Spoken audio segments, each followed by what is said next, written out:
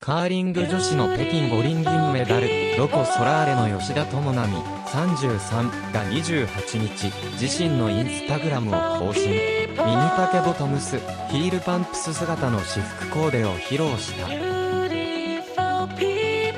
久しぶりに、ヒールがある靴を履きましたと報告し、全身ショットをアップ。大振りトレーナーに、ミニ丈ボトムス、黒タイツを合わせ、足元には、ハイヒールをチョイス。